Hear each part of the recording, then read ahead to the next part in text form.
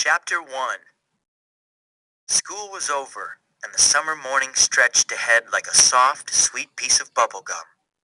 It was early for a boy who had just finished fifth grade and promised himself he would sleep until noon every day of summer vacation.